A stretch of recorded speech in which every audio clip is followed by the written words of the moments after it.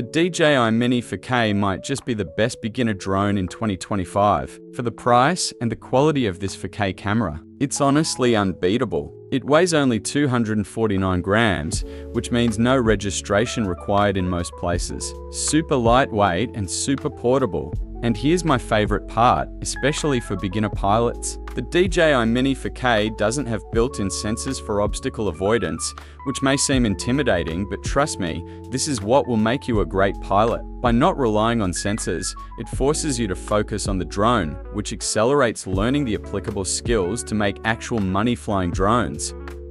The DJI Mini 4K was my first drone, and I'm grateful for it. I wasn't expecting it to be as great as it has been.